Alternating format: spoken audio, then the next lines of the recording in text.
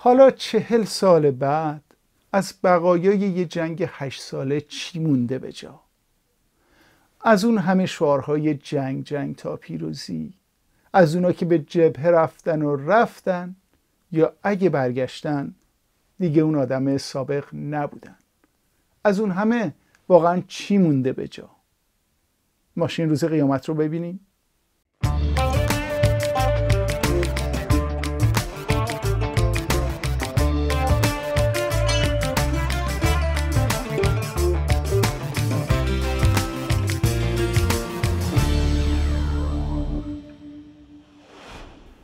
سلام حسن سرچو هستم. خوش اومدید به این ویژه برنامه یه آپارات در چهلمین سالگرد جنگ ایران و عراق. جنگی که طولانی ترین جنگ متعارف جهان بود در قرن بیستم. بچه های نسل جنگ یادشون هست که در اون روزا در و دیوار شهر پر بود از شعارهایی در ستایش جنگ. هنوزم هستن کسانی که علاقمندن ایران رو درگیر جنگ کنن. اما آمارهای رسمی میگه که در اون جنگ هشت ساله که توسط حاکمان عراق آغاز شد و حکومتگران ایران اون رو نعمت نامیدند و از ادامش استقبال کردند حدود یک میلیون نفر کشته و مجروح شدند و در کنارش البته ادهی هم از برکت جنگ به مقام و منصب و ثروت و قدرت رسیدن ولی بعد از چل سال هنوز بسیاری از خانواده ها هستند که درد این جنگ مصیبت بار رو دارن به دوش می‌کشن. فیلم ماشین روز قیامت نگاهی داره به گروهی محجور از بازماندگان جنگ. این فیلم که ساختش حدود چهار سال طول کشیده گزارشی تکان دهنده از زشتی های جنگ و زندگی کسانی هست که در تریبون های رسمی در ایران سعی میشه چشم بر واقعیت حضور اونها پوشیده بشه. فیلم حکایت زندگی بیماران یکی از آسایشگاه های آسیب دیدگان جنگ در ایران هست. سودابه مرادیان سازنده این فیلم متولد سال 51 و فارغ التحصیل سینما در سال 74 از ایران و تحصیلات سینماییش رو در امریکا ادامه داده و اکنون استادیار دانشگاه سیراکیوز در نیویورک هست. فیلم سینمایی پولاریس رو هم او در امریکا در طی همین سالها ساخته. این فیلم سال 97 در سینماهای ایران به نمایش در اومد. خانم مرادیان که سابقه بازیگری رو هم در کارنامش داره در ایران چند مجموعه مستند درباره زنای روستایی ایران شناسی و همطور چند فیلم داستانی هم ساخته بود. او در طول سالها به تدریج تمرکزش رو بر روی اثرات روانی جنگ گذاشت و مجموعه سگانه ساخت به نام جنگ و جنون. ماشین روز قیامت یکی از این سه فیلمه که این هفته می‌بینیم. برای گفتگو در مورد این فیلم خانم مرادیان از راه دور و از امریکا با ما هست. و همطور فرید اسماعیل پور مستنساز و پژوهشگر سینما از پاریس. خوش اومد میگم به هر دوی شما. خب به اتفاق فیلم رو ببینیم بعد مفصل دربارهش صحبت می‌کنیم.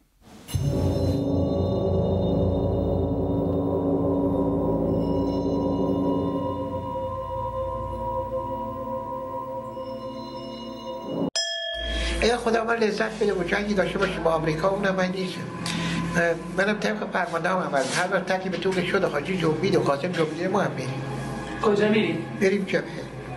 کدوم منطقه؟ منطقه آمریکا رو من نیدم کجا میاد؟ اونی که مجموعه آمده صدام گرفت و پلان و اینا. راه رو باز می‌کنیم میاد بعد میکشون بریم مهدی بیا مهدی بیا. نوبت به ما رسیده. این غنچه های پرپر از کربلا رسیده.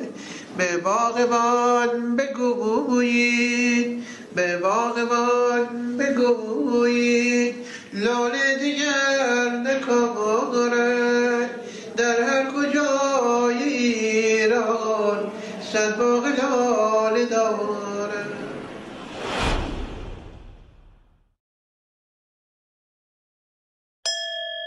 دلم تنگ میشه برای چفو برای ستلایی برای نیوای چفه اینا می‌خوام برم یه قرار برم منطقه نمیترم نمیارم بگم به خودم.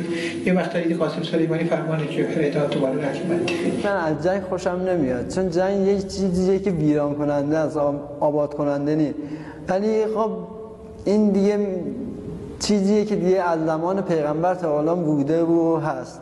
دیگه نمیشه کاریش هم کرد. چون اگه می‌خواست تمام بشه همون زمان پیغمبر تمام می‌شد. بده جنگ نباید باشه. همیشه دوستی و صمیمی صمیمیت بین انسان ها باشه بهتره تا جنگ باشه.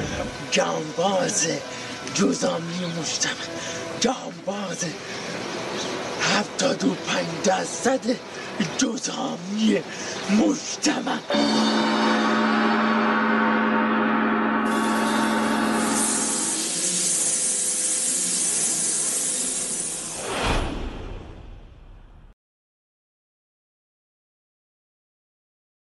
خوبه؟ حالم تنگ غروبه.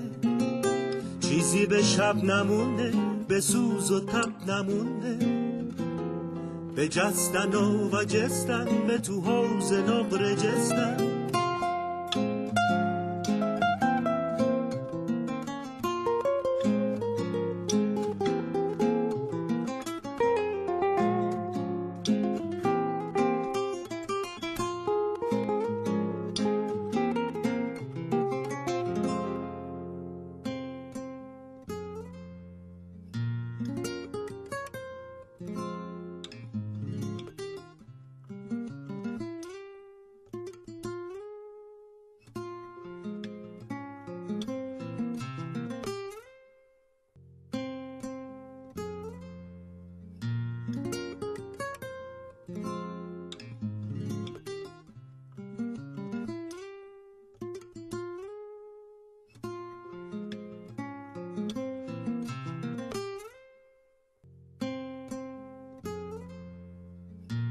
ماشین روز قیامت رو دیدیم ساخته سودابه مرادیان. فیلم حاوی تصاویر منحصر به فرد و روایتی بیواسطه از واقعیت حزنانگیز جنگ بود و فیلمساز هم انگشت به روی نکته بسیار حساسی گذاشته.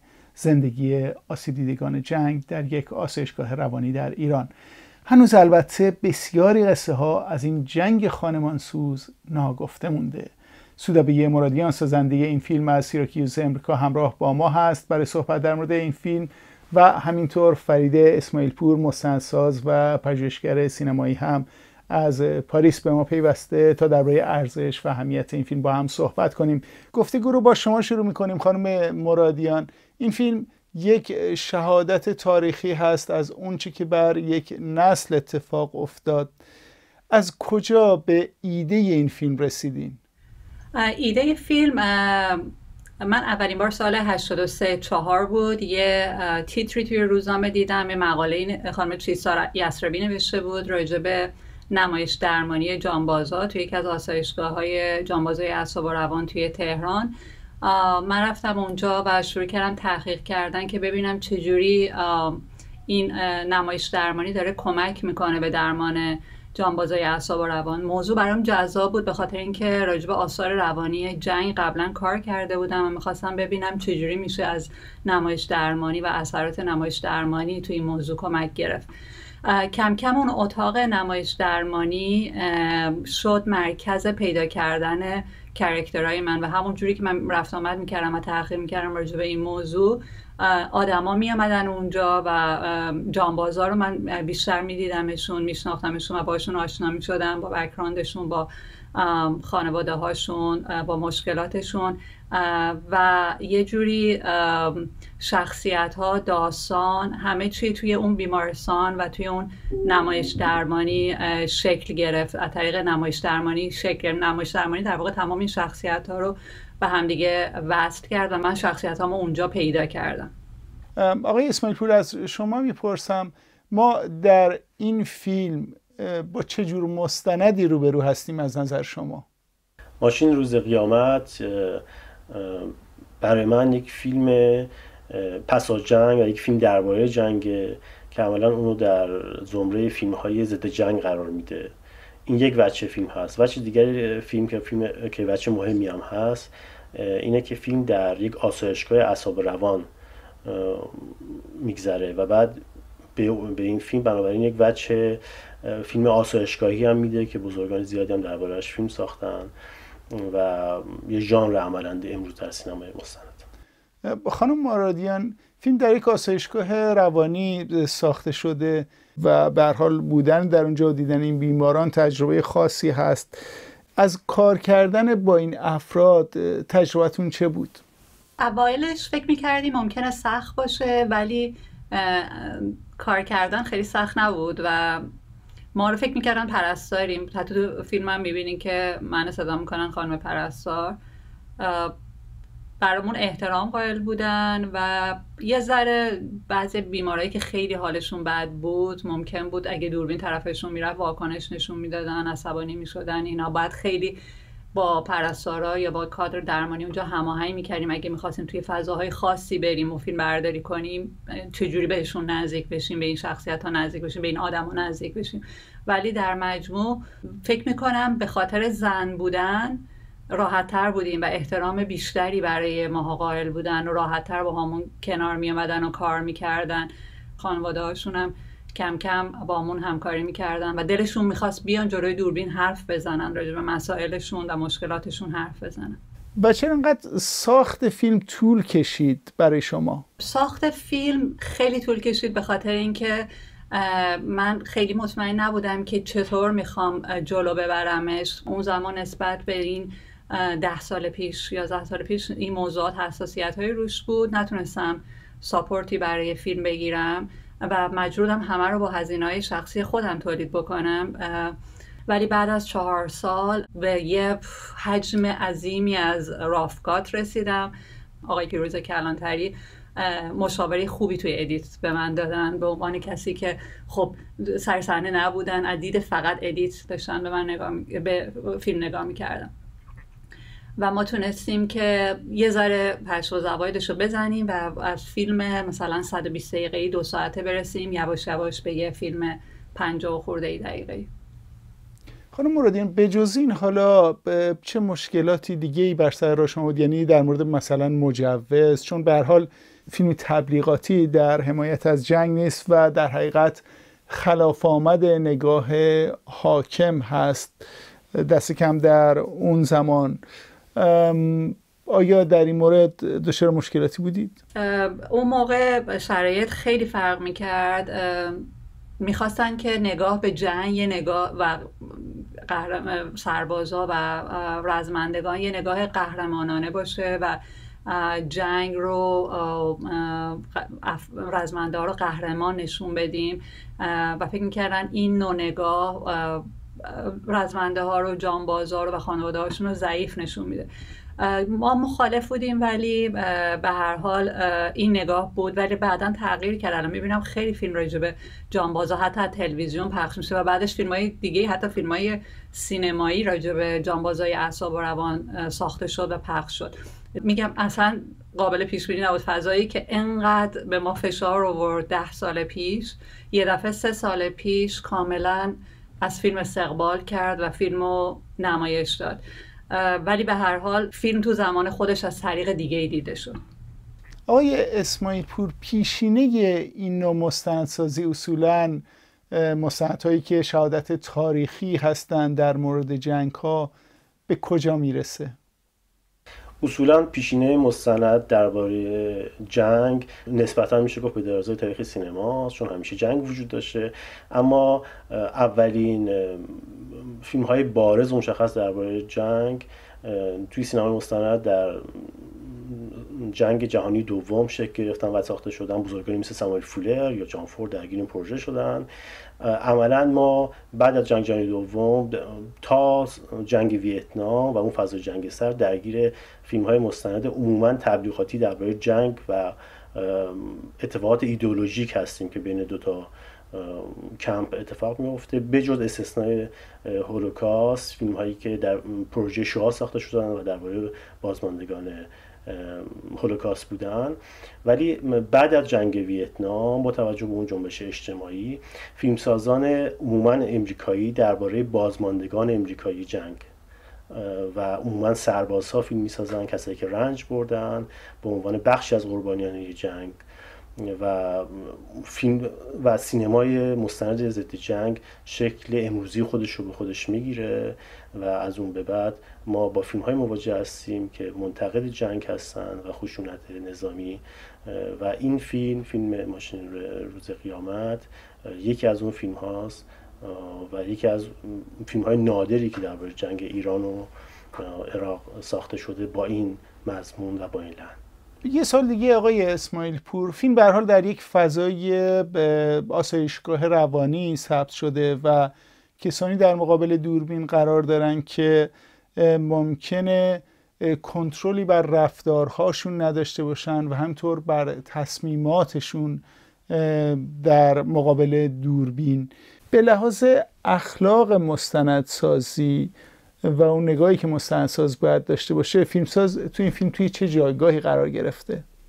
این سوال و مسئله خیلی مهم و خوبیه به خاطر اینکه می‌دونیم کسانی که ساکنان آسایشگاه اعصاب روان هستند مثال کودکان امکان دفاع یا بروز منویات خودشون رو به راحتی ندارن و آسیب پذیرتر هستن. بنابراین وقتی که درباره این نوع سینما درباره این مکان و آدم هایی که ساکنش هستن فیلم ساخته میشه حساسیت ها بیشتره و اصولا کار فیلم سازم سختره. این سالی که در حین دیدن فیلم تماشاگر احتمالا از خودش می‌کنه و تا قبل از دقیقه چل شاید بتونه آزارنده باشه. اما دقیقه چل به بعد با صحنه که از خانواده می‌بینیم و ارتباطی که با فیلمساز دارن این به تماشاگر شاید تلقین میشه که مشروعیت اخلاقی فیلم وجود داره پایه در ارتباط فیلمساز با خانواده و اون آدم ها داره و به نظر من هم اون سکانس ها سکانس های مهمی هستن و هم اینکه فیلمساز تونسته این ارتباط رو ایجاد کنه با اون خانواده ها و افراد و سریع و اعتمادشون جلب کنه نکته مهمیه. کما اینکه در پایان فیلم در اون فلش فورواردی که اصلا وجود داره و سه سال بعد نشون میده فیلمساز وقتی که از آقای امرویی درباره سرگذشت و عاقبت اون شخصیت ها می‌پرسه هم یه کارکرد دراماتیک داره که عاقبت شخصیت ها به سم نظر تماشاگر می‌رسه و همینه که نشون میده که فیلمساز براش اون شخصیت ها اهمیت دارن. این به نظر نکته مهمیه. خانم مرادیان شما خودتون در این تجربه‌ای که داشتید ماشین روز قیامت چه برخوردی داشتید با موضوع اخلاق مستندسازی در این پروژه؟ من فکر می‌کنم که یه وقتایی شما ناگزیر نشون دادن واقعیتین برای اینکه ناگزیر نشون دادن اتفاقی که داره میافته. چون حالا واقعیت که اصلا یه داستان دیگه ای داره که آیا ما می‌تونیم واقعیت رو نشون بدیم یا نه؟ چقدر واقعیت دستیافتنیه یا حقیقت دستیافتنیه در مقابل دوربین. ولی یه وقتایی ما ناگزیر نشون دادن اون چیزی هستیم که اتفاق افتاده و داره اتفاق میافته.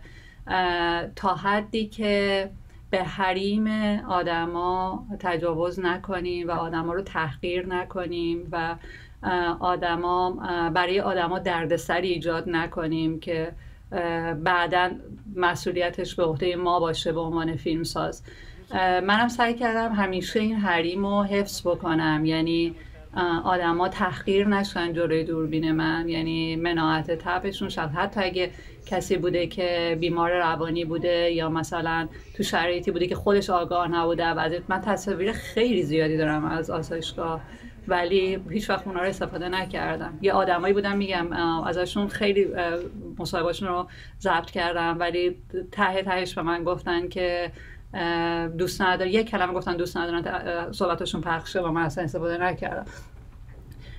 تا حدی که فکر می‌کنم که احترام اونا حفظ بشه و حریمشون حفظ بشه و براشون دردسری ایجاد نشه من باید حرفم رو به عنوان فیلمساز و مسیج و پیامی که به عنوان فیلمساز دارم ارائه بدم و دردسری هم براشون ایجاد نکنم.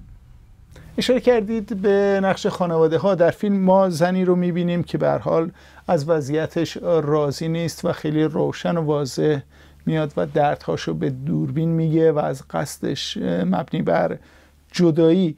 به لحاظ اتیکال و اخلاقی بودن مستند چقدر در این زمینه شما مراقب بودید یا هماهنگی انجام شد؟ خودشون اومدن خودش خواست که جلوی دوربین صحبت بکنه و خودش هم راحت بود. بعدا هم دوباره ما چند بار دیگه توی بیمارستان دیدیمش و مشکلی نداشتن از اینکه جلوی دوربین بیان صحبت کنن و مسائلشون رو بگن. اتفاقا دلشون می‌خواست مسائلشون رو مطرح کنن. متاسفانه همسر ایشون هم شهید شد بعد از یه مدتی. یعنی به خاطر بیماری توی فیلم گفته میشه که البته. چه اتفاق میافته. ولی اون لحظه و بعدش حتی ما ازشون پرسیدیم که آیا شما راحتین که این تصویر استفاده بشه؟ چون من معمولا اگه تصاویر می‌گیرم که یه ذره sensitive مثلا آدم ها emotional میشن جلوی دوربین یا فکر می‌کنم ممکنه بعدا پشمون بشن ازشون بعدش می‌پرسم که مشکلی ندارین این تصویر پخش بشه؟ گفت نه. و ما برای همین استفاده کردیم از اون تصویر. آقای اسماعیل پور از لحاظ ساختاری فیلم چطوره؟ یعنی فیلم ساز در این فیلم چه شکلی از روایت رو به کار گرفته و زاویه دیدش چطور بوده؟ ببینید روایت تو این اثر میشه از دو وجه بهش نگاه کرده یکی اون بافتار بصری اثر هست که از مواد مشخصی بهره برده فیلمساز مثل تصاویر آرشیوی. که معرفی نامه فیلم رو شکل دادن و خیلی کمک کردن حتی هر ازگاهی در مونتاژ در در طول فیلم. و دو اینکه میشه به این مسئله از لحاظ که به این مسئله از لحاظ زاویه دید نگاه کرد. به نظر من در زاویه دید اون انسجامی که توی استفاده از مواد بصری انجام شده وجود نداره. به این معنا که مثلا در ابتدای فیلم ما با یک گفتار متن تصاویر آرشیوی و گفتار متن مواجه هستیم. که به روشنی و خوبی معرفی می‌کنه گذشته جنگ ایران عراق برای که ما آماده بشیم برای ورود ها ولی واقعیتش که اون حضور یک تک حضوره و پیش و پسی نداره. همینطور حضور آقای امرایی حتی حضور خود فیلمساز نظم مشخصی ندارن و شخصیت هایی که دخالت می‌کنن در روایت و در اثر وارد فیلم میشن و خارج میشن. گرچه در کنار حسنایی که این فیلم داره و حساسیت و سختی فیلمسازی در این شرایط و اوضاعی که وجود داشته در اون آسایشگاه و خود موضوع بغرنج فیلم به نظر من این مسئله خیلی کوچکتر از اون هست که خیلی چشمگیر باشه. خانم مرادیان آقای اسماعیل پور اشاره کردن به نرشینی که در آغاز فیلم شما به کار گرفتید و در ادامه فیلم خب این نرشین به کار گرفته نمیشه و ممکنه که این رو به ذهن متبادر کنه که فیلمساز لحنهای متفاوتی رو در فیلم در پیش گرفته شما احتمالا نظر دیگه ای داشته باشین در این مورد نه؟ به نظر من دوپاره نیست چون که شما خیلی از فیلم ها رو می‌بینین این اطلاعات رو که می‌خوان راجع به بکراند موضوع بدن مثلا title می‌کنن به صورت مثلا تکس اول فیلم سه صفحه راجع به مثلا تاریخ اون موضوع میاد روی تصویر و شما می‌خونین قبل از اینکه وارد فیلم بشین. من به جای اینکه از تکس و نوشته روی تصویر استفاده کنم اینو من سعی کردم توی ساختار تصویری اون اول بگنجونم. ما توی یه چیز خیلی کوتاهی و از صدای همون کسی استفاده کردم که داره با افراد کار نمایش درمانی اضافه می‌کنه. یه بار دیگه ما اون آخر برمیگردیم و اینو توی یه گفتگوی تلفنی داریم. یه حالت نریشن گونه است که تو گفتگوی تلفنی روی عکسای جانبازا از سرنوشت جانبازا داره گفته میشه. یعنی در واقع یه جوری تیکه اول و اون تیکه که داره روی عکسا راجب جانبازا گفته میشه این دوتا بخش به همدیگه یه ارتباطی پیدا می‌کنه که اینا میشن بخشی از اون گروه عظیم اولیه‌ای که راجع بهشون حرف زده شده. اون بخش به این بخش وصل بشه. خب بپردازیم به شخصیت های این فیلم. آقای اسماعیل پور شخصیت اصلی فیلم علیرضا محمودیان یک جانبازی هست که دچار مشکلات روحی روانی هست و در خیالش در پی ساختن دیمیتری بمب خیلی خاص. شخصیت های فرعی دیگه ای رو هم فیلم داره که ما کم و بیش باشون در فیلم آشنا میشیم یا کمک می‌کنن به در واقع بهتر شهره کردن شخصیت اصلی. شما نگاه فیلمساز به شخصیت شخصیت پردازی رو در این فیلم چطور می‌بینید آقای اسماعیل پور؟ یکی از مهمترین انتخاب های فیلمساز مستند به وقتی که داره درباره یک شخصیت یا چند شخصیت فیلم می‌سازه انتخاب شخصیت هست. یعنی اگر شما سه تا نجار داشته باشید و می‌خواید فیلم درباره یک نجار بسازید باید یک نجاری انتخاب کنید از اون سه تا که جذابیت های شخصیتیش به روایت شما کمک کنه. تو این زمینه فیلمساز خیلی موفق بوده و به نظر من خیلی هوشمندانه و کارا بوده که آقای محمودیان رو به عنوان شخصیت مرکزی فیلم انتخاب کرده تا بنای فیلم رو روی شونه های اون بذاره ساختار فیلم رو روی شونه های اون بذاره و بنا کنه نظرم این انتخاب درست بوده. در کنار جذابیت هایی که خود این شخصیت داره مهمترین مسئله اینه که او رنج و وهمی رو که باهاش مواجه هست در ذهنش رو به بهترین شکل ممکن می‌تونه تبدیل به کلمه و حتی تصویر کنه که این کمک مهمیه برای یک اثر بسری و برای فیلم. خانم مرادیان چطور شد که به علیرضا محمودیان رسیدید و او رو به عنوان شخصیت اصلی خودتون توی این فیلم انتخاب کردید؟ وقتی که من داشتم تحقیق می‌کردم همینجوری دوربین همراه بود می‌رفتم میامدم و دوربین همراه بود و ضبط می‌کردم و شخصیت محمود از همون اول می‌دونستم محمود علیرضا محمودیان که محمود صداش می‌کردیم. جذابترین کرکتر فیلم بود. همون اول شد شخصیت اصلیم ولی یه چیزی حدود ده تا شخصیت دیگر رو من دنبال کردم. خودشون زندگیشون بکراندشون خانوادهشون مسائلشون و باهاشون interview کردم. تصمیم گرفتم متمرکز بشم روی این چند تا شخصیتی که الان هستن که ابعاد مختلفی از این موضوع رو بگم. یعنی چند تا شخصیتی که خیلی خوب می‌تونستن ابعاد مختلفی از این موضوع رو ارائه بدن. به این ترتیب بود که من شخصیت محمود شد شخصیت اصلیم و شخصیت های دیگر رو دور محمود چیدم که ابعاد دیگه از این موضوع رو بتونن این افراد منعکس بکنن. ولی هی هر بار ما برمیگردیم دوباره به محمود به عنوان شخصیت اصلی داستان به عنوان شخصیت اصلی فیلم و اون روایت می‌کنه قصهشو و ما رو نگه میداره روی استراکچر کلی فیلم. و آقای اسماعیل پور از منظر تکنیکی حالا به لحاظ تدوین و موسیقی و ریتم فیلم شما چطور دیدید؟ از نقاط مثبت و چشمگیر فنی فیلم به نظر من بیانصافی اگر به منتاج فیلم اشاره نکنیم عملا یه بخش زیادی از این فیلم شاید جامعه اصلی این فیلم روی میز منتاج ساخته شده حتما راش زیادی فیلمساز داشته. در تیتراژ هم می‌بینیم که چند سال درگیر فیلمسازی فیلم برداری این پروژه بوده. برای همین مونتاژ خلاقانه خیلی کمک کرده به اثر به ویژه در لحظاتی که ترکیبی ایجاد کرده بین تصاویر روزمره آسایشگاه و تصاویر یا اسوات آرشیوی جنگ نه تنها برای اینکه گذشته این شخصیت ها رو برای مخاطب بارز کنه و مشخص و دیدنی کنه بلکه برای اینکه امکانی ایجاد می‌کنه. گاه تا ما به دنیای دردناک و پیچیده ذهنی این شخصیت ها از طریق عینیت تصاویر خیلی ساده پی ببریم و به نظر این خیلی هنرمندانه است. در کنار این موسیقی نقش موثری داشته استفاده درستی ازش شده و تونسته بار احساسی و گاه دراماتیک اثر رو افزایش بده و ما رو همراهی کنه. و مهمتر از موسیقی اون باند صوتی که به نظر من خیلی هنرمندانه استفاده شده و فضای صوتی فیلم بسیار شنیدنی و موثره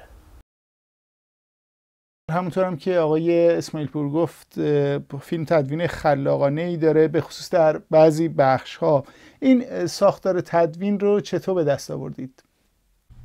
کلا من آدمی هم که تو مونتاژ خیلی کار می‌کنم. یعنی یه وقتایی برچسب این بهم زده میشه که فرمم به محتوا غلبه داره که اصلا اینو قبول ندارم. چون من فرمی که اینجا اجرا کردم یه جوری ساختار کانتنت یا محتوامو داره دنبال می‌کنه. آدم ساختار ذهنی این آدم ها رو داره دنبال می‌کنه. سعی کردم از طریق فرم تدوینی به ساختار ذهنی این آدما و ساختار جنگ نزدیک بشم.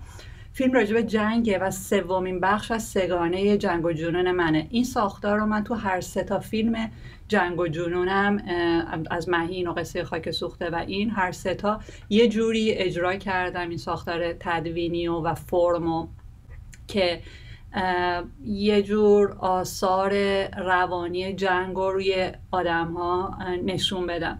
خیلی بازی می‌کنم با این ساختار و تو این فیلم سعی کردم در عین اینکه دارم داستان این آدم ها رو تا یه جایی خیلی simple خیلی بدون اینکه دخالت بکنم توی edit دارم میگم یه جایی هم با edit موسیقی و یه جور بازی های تدوینی فضا سازی کنم خانم مرادیان وقتی که فیلم به نمایش در اومد واکنش ها بهش چطور بود؟ اون دوره تو داخل ایران که پخش نشد ولی دفعه اولی که بی بی سی پخش شد من باید بگم شاید بیش از صدها ایمیل از کسایی گرفتم که خودشون تو جنگ بودن از خانه و هر بار فیلم داره جاهای مختلفی پخش میشه یا روی اینترنت دیده میشه کسایی که خودشون خانواده جنگن و خودشون اینا رو تجربه کردن خودشون جانبازن یا خانواده هاشون جانبازن برای من می نویسن که چقدر تونستن با این فیلم ارتباط برقرار کنن و چقدر اینو حس کردن. از یه طرف و یه طرف دیگه کسایی که هیچ آیدیایی راجع به جنگ نشن و جنگ برایشون فقط یه مسئله ایدئولوژیک بوده و حالا تازه با ابعاد انسانی جنگ برخورد کردن و کاملا نظرشون راجع به جنگ عوض شده و حالا نگاهشون به جانباز و نگاهشون به خانواده های جانبازا کاملا یه نگاه انسانیه دیگه نه یه نگاه ایدئولوژیک که در مقابلش بخوان گارد یا جبهه بگیرن. در واقع این دوتا بازخورد این دوتا تاثیر فیلم برای من خیلی مهم بود که من بعد از ساختن این فیلم دیدم. و آقای اسماعیل پور در یک نگاه کلی اهمیت این فیلم فیلم ماشین روز قیامت برای ما در چه است؟ چرا میگیم این فیلم فیلم ویژه و مهمیه؟ ببینید فیلم ساختن درباره مزامین حساس در ایران یا هر کشور دیگری که به تازگی اون جنگ رو تموم کرده یا اون واقع به تازگی تموم شده کار آسونی نیست. مشخصا در ایران فیلم ساختن درباره جنگ همیشه با سختی ها و حساسیت های گاه قابل فهمی همراه بوده. این فیلم یگانه است به خاطر اینکه لحنش نگاهش همراهی جدی با روایت رسمی نداره. و به کسایی پرداخته که اتفاقا بازیگران اصلی جنگ بودند و برد و باخت جنگ روی زندگی اونا تاثیر جدیتری گذاشت. یعنی انسان هایی که بدون هیچ اولویت سیاسی در این جنگ قربانی شدن. من فکر کنم این ویژگی بارز فیلم هست و اونو تبدیل می‌کنه به یک سند و شهادت تاریخی از واقع مهمی مثل جنگ ایران و عراق که برای ملت گذشته و اونو ماندگار می‌کنه. در ثبت این شهادت تاریخی دقت فاصله درست فیلمساز با شخصیتاش و به نظر من صمیمیت و در کنار اون و از همه مهمتر به نظر من انصاف فیلمساز باعث شده که این اثر اثر موندگاری بشه. و سوال آخر خانم مرادیان خیلی کوتاه چون وقتمون محدود هست. اسم فیلم رو گذاشتید ماشین روز قیامت و بخش قابل توجهی از فیلم هم به همین مسئله اختصاص داره. تلاش های محمود برای ساخت یک سلاح مخرب به نام ماشین روز قیامت. چرا اینقدر تاکید دارید بر این بخش؟ کرکتر اصلی ما علیرضا محمودیان این توهمو داره و این چیزو داره ذهنیت داره که مرتب داره نقاشی می‌کشه و میگه که داریم یه ماشینی می‌سازیم که با فشار دادن یه دکمه می‌تونه دنیا رو نابود بکنه. به عنوان یه سلاح جنگی که تحت تاثیر یه فیلمیه که یه فیلم امریکاییه که دیده و داره دکتر استرنجلاب و داره تحت تاثیر اون فیلم این افکار توش شکل گرفته. بعد چون خودشم توی جنگ بوده مین خونسا می‌کرده اینا یه جوری این تمام این چیزای مختلف توی ذهنش شکل گرفته و این ماشینه رو مرتب داره توی فیلم می‌کشه و هی ماشین روز قیامت رو داره راجبش حرف می‌زنه حرف می‌زنه حرف می‌زنه و یه جور متافور برای کل جنگ هم شد برای من ماشین روز قیامت. و فکر کردم که چون هم علیرضا محمودیان شخصیت اصلی فیلم و محوریت فیلم بود و هی این موضوع تکرار شد توی فیلم هم استعاره خوبی می‌تونه برای مفهوم کلی جنگ در یه ابعاد وسیعتری بشه که چطور میشه چطور باعث نابودی جهان شده در طی تاریخ و همینجوری و همچنان آثارش ادامه داره و نه یه نسل بلکه نسل ها رو می‌تونه تحت تاثیر قرار بده. خب خیلی ممنون و متشکرم از حضور هر دو شما سودابه مرادیان و فرید اسماعیل پور برای حضور در این ویژه برنامه آپارات در چهلمین سالگرد جنگ ایران و عراق. امید که دیگه هیچ جنگی در راه نباشه و نکبتش دامن هیچ کسی رو نگیره. فرصت بیشتری نیست. شما از طریق راه ارتباطی که اینجا داره زیر نویس میشه برام بنویسید نقد و نظرتون رو در بین فیلم و اینطور درباره جنگ و خاطراتش. تا فرصتی دیگه و یه برنامه دیگه بدرود و مراقب سلامت خودتون و اطرافیانتون. باشید